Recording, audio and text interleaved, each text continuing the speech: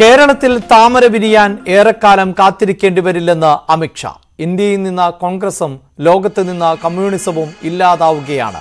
പാവപ്പെട്ടവരുടെ സർക്കാരാണ് നരേന്ദ്രമോദിയുടേത്. ഭാരതത്തിൽ ബി ജെ പിക്ക് മാത്രമാണ് പ്രസക്തിയെന്നും അമിത്ഷാ പറഞ്ഞു. ബി ജെ പി പട്ടികജാതി മോർച്ച മഹാസംഗമം ഉദ്ഘാടനം ചെയ്ത് സംസാരിക്കുകയായിരുന്നു അമിത്ഷാ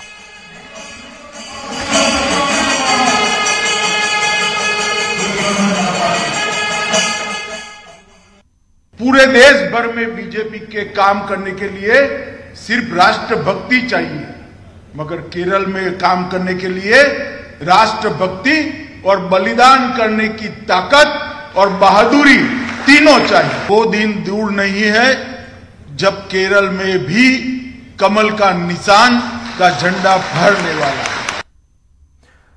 കോൺഗ്രസിന്റെ കാലത്ത് പട്ടികജാതി വിഭാഗക്കാർക്ക് വേണ്ടത്ര പരിഗണന ലഭിച്ചിരുന്നില്ല വോട്ടിനു വേണ്ടി മാത്രമാണ് പട്ടികജാതിക്കാരെ കോൺഗ്രസും കമ്മ്യൂണിസ്റ്റുകാരും ഉപയോഗിച്ചത് എന്നും അമിത്ഷാ പറഞ്ഞു कांग्रेस धीरे धीरे धीरे जनमानस से लुप्त हो रही है और पूरी दुनिया से कम्युनिस्ट पार्टी लुप्त हो रही है मैं आज कांग्रेस पार्टी को पूछना चाहता हूं कभी भी क्या आपकी मंत्रिपरिषद में बारह मंत्री अनुसूचित जाति के रहे हैं क्या? इस देश में कांग्रेस की सरकार 60 साल चली। ये कम्युनिस्ट भाइयों को भी लगभग आठ साल तक सत्ता में भागीदारी की।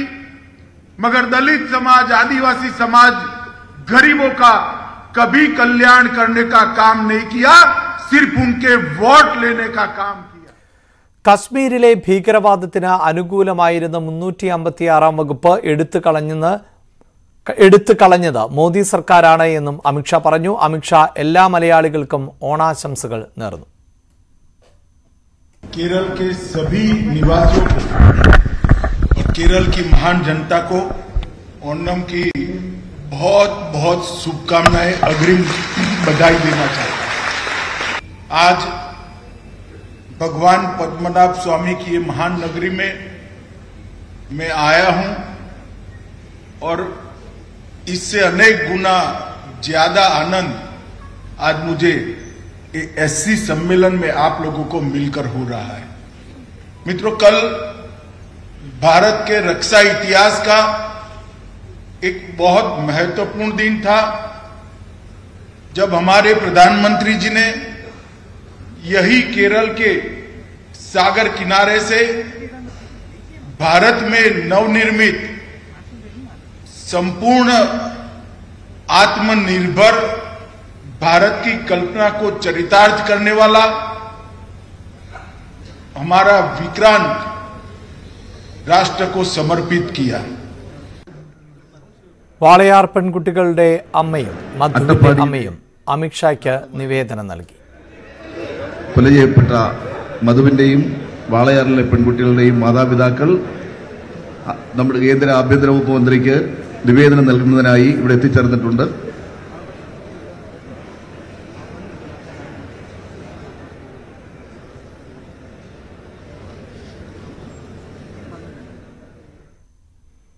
കോമൺവെൽത്ത് ഗെയിംസ് മെഡൽ ജേതാക്കളെയും മികച്ച പ്രകടനം കാഴ്ചവെച്ച കായിക താരങ്ങളെയും ആഭ്യന്തരമന്ത്രി അമിത്ഷാ അനുമോദിച്ചു. ട്രിപ്പിൾ ജമ്പിൽ സ്വർണം നേടിയ എൽദോസ് വെള്ളി നേടിയ അബ്ദുള്ള ഹോക്കിയിൽ നേട്ടം കൈവരിച്ച ശ്രീജേഷ് സൈക്ലിംഗ് താരം അനന്തു നീന്തൽക്കുളത്തിലെ പ്രതിഭ ആദർശ് അത്ലറ്റിക് വിഭാഗങ്ങളിൽ താരങ്ങളായ ശ്രീശങ്കർ അനീസ് അജ്മൽ സിമി എന്നിവർക്കും അനുമോദന സമ്മേളനത്തിൽ ഉപഹാരങ്ങൾ നൽകി. കോവളം ലീല റാവിസിൽ ആയിരുന്നു ചടങ്ങ്.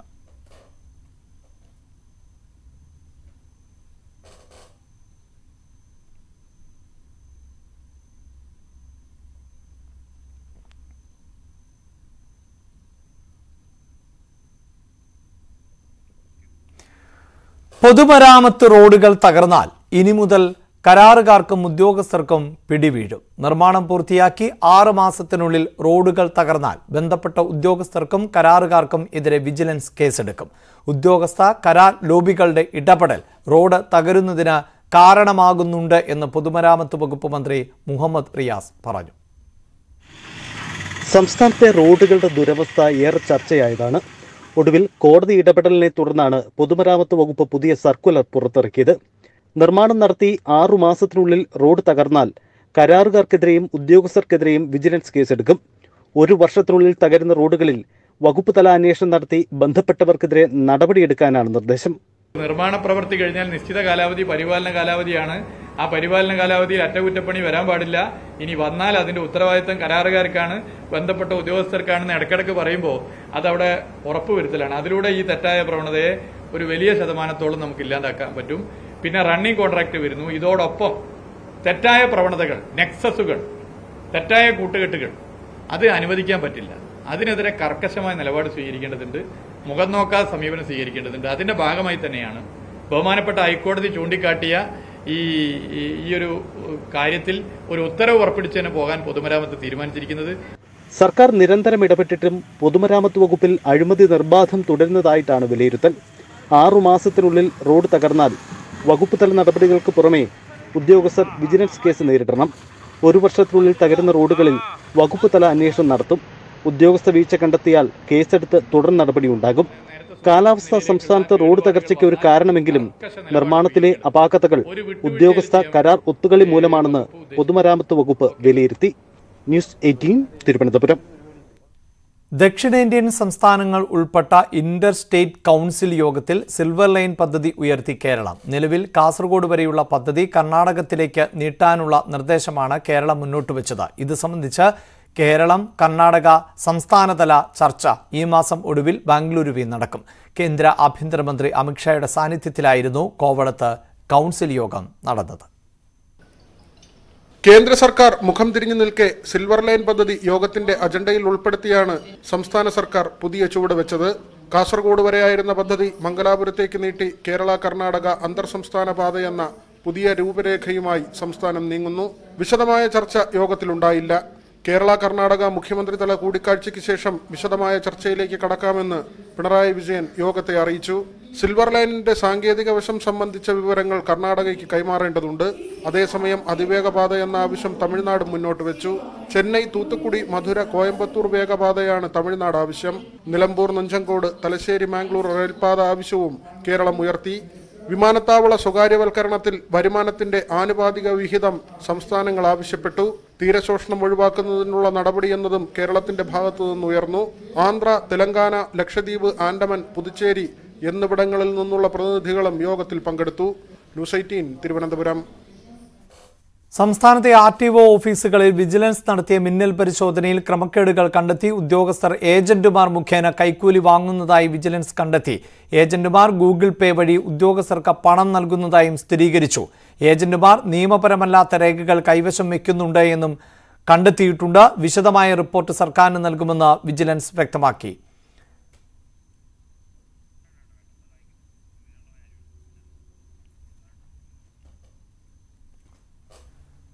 നിയുക്ത മന്ത്രി എം ബി രാജേഷ് സ്പീക്കർ സ്ഥാനം രാജിവെച്ചു.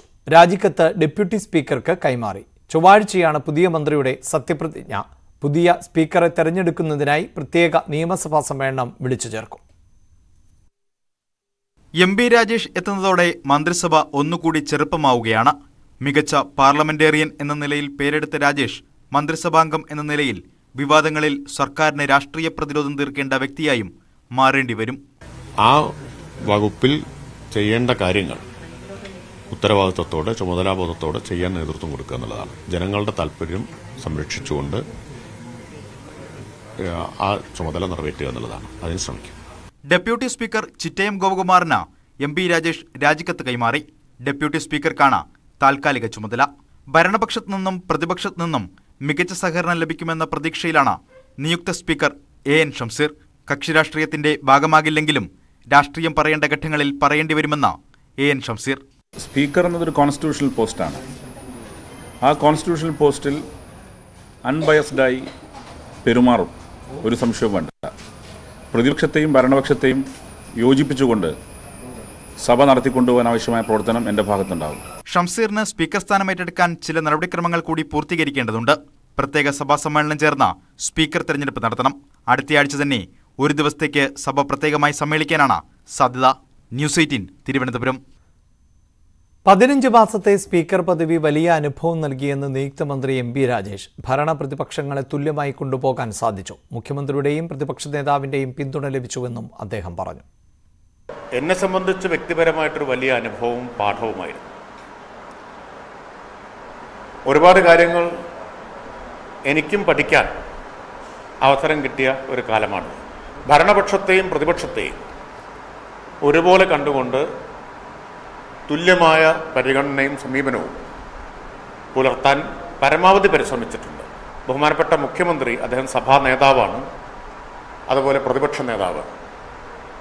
അവരുടെ രണ്ടുപേരുടെയും പിന്തുണയും സഹകരണവും വളരെ നിർണായകമായിരുന്നു. വിഴിഞ്ഞം സമരം ശക്തിപ്പെടുത്താൻ ലത്തീൻ അതിരൂപതയുടെ തീരുമാനം. നാളെ പള്ളികളിൽ സർക്കുലർ വായിക്കും. ഈ മാസം പതിനേഴ് വരെയുള്ള സമരപരിപാടികൾ ലത്തീൻ അതിരൂപത നിശ്ചയിച്ചു. കോടതിയിൽ അദാനി കമ്പനിക്കായി സർക്കാർ മൊഴി നൽകിയെന്നും സഭ ആരോപിച്ചു. ഇടവേള.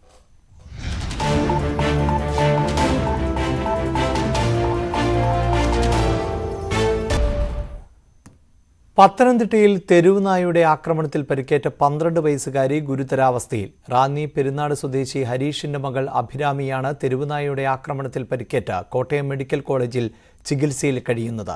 വാക്സിൻ എടുത്തിട്ടും കുട്ടിയുടെ നില ഗുരുതരമായി തുടരുന്നത് ആശങ്കകൾക്ക് കാരണമായിട്ടുണ്ട്. കഴിഞ്ഞ പതിനാലിനാണ് റാന്നി പെരുന്നാട് സ്വദേശി ഹരീഷിന്റെ മകൾ അഭിരാമിക്ക് തെരുവുനായുടെ കടിയേറ്റത്. മുഖത്തും കാലിലുമായി ഏഴിടത്ത് കടിയേറ്റ കുട്ടിയെ പത്തനംതിട്ട ജനറൽ ആശുപത്രിയിലും പെരുന്നാട് കുടുംബാരോഗ്യ കേന്ദ്രത്തിലും എത്തിച്ച് മൂന്ന് ഡോസ് പ്രതിരോധ വാക്സിൻ എടുക്കുകയും ചെയ്തു. എന്നാൽ ഇന്നലെ കുട്ടിയുടെ ആരോഗ്യനില ഗുരുതരമായതിനെ തുടർന്നാണ് കോട്ടയം മെഡിക്കൽ കോളേജിൽ പ്രവേശിപ്പിച്ചത്. വാക്സിൻ എടുത്തിട്ടും കുട്ടിയുടെ ആരോഗ്യനില ഗുരുതരമായതാണ് ബന്ധുക്കളെ ആശങ്കപ്പെടുന്നത് ഭയങ്കര മോശമായ അവസ്ഥയായിരുന്നു. ഭയങ്കര മോശമെന്ന് പറഞ്ഞു കുഞ്ഞിന് പെടലി തലയൊന്നും അങ്ങോട്ട് നേരെ നിൽക്കത്തില്ല പിന്നെ സംസാരിക്കത്തില്ലായിരുന്നു. പിന്നെ വായിക്കൂടെ ഇങ്ങനെ ഒരു ഒക്കെ വരുമായിരുന്നു അങ്ങനെയൊക്കെയാ കൊണ്ടുപോയത്. അത്രയും ആ, ഇന്നലെയാ അത്രയും ഔഷധയായത്. കുട്ടിയെ ആശുപത്രിയിൽ എത്തിച്ച ഉടൻ തന്നെ അടിയന്തര ചികിത്സ നൽകിയെന്നാണ് ആശുപത്രി അധികൃതരുടെ വിശദീകരണം. ആശുപത്രിയിൽ കഴിയുന്ന കുട്ടിയുടെ നില ഗുരുതരമായി തുടരുകയാണ്. News eighteen Pathanamthitta. അറുപത്തിയെട്ടാമത് Nehru trophy വള്ളംകളി നാളെ പുന്നമടക്കായലിൽ നടക്കും. നെഹ്റു ട്രോഫി ജലമേളയുടെ ഭാഗമായി നഗരസഭയും നെഹ്റു ട്രോഫി സൊസൈറ്റിയും ചേർന്ന് നടത്തിയ സാംസ്കാരിക ഘോഷയാത്ര ആലപ്പുഴ ഇ എം എസ് സ്റ്റേഡിയത്തിൽ നടന്നു. വിവിധ സ്കൂളുകളിൽ നിന്നുള്ള വിദ്യാർത്ഥികളും കുടുംബശ്രീ പ്രവർത്തകരും ഉൾപ്പെടെ അയ്യായിരം പേരാണ് ഘോഷയാത്രയിൽ പങ്കെടുത്തത്.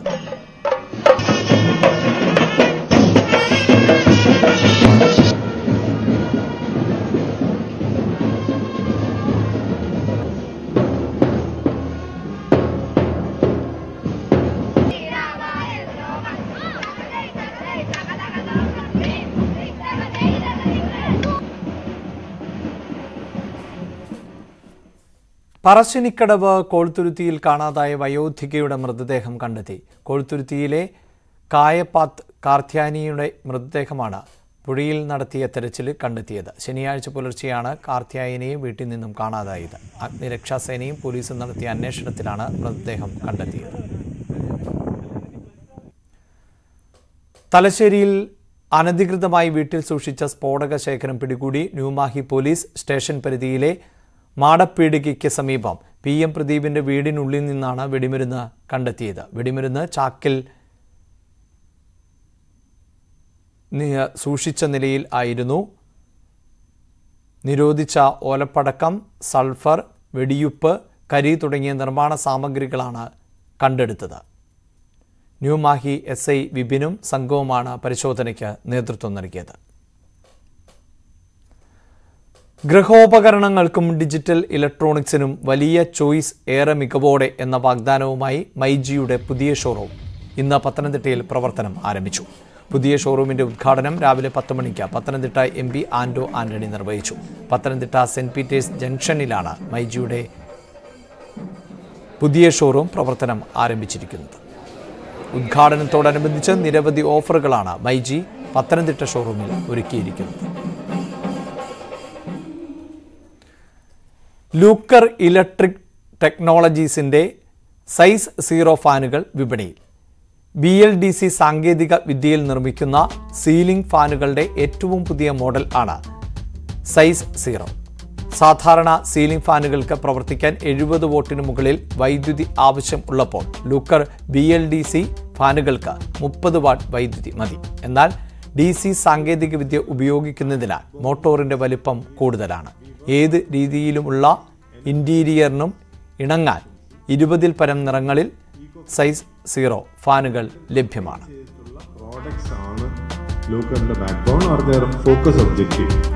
അങ്ങനെ പറയുമ്പോൾ energy what ever conserve is produced what always ഇപ്പോൾ energy one of the thing which കൈ come is lighting L E D എന്ന് പറഞ്ഞ ഒരു റെവല്യൂഷണറി ടെക്നോളജി സാധാരണ ലൈറ്റിങ്ങിന്റെ 50% lighting three four times life maintenance free അങ്ങനെ ഒരുപാട് അഡ്വാന്റേജ് ഈ ന്യൂസ് ബുള്ളറ്റിൻ പൂർണമാകുന്നു. നമസ്കാരം.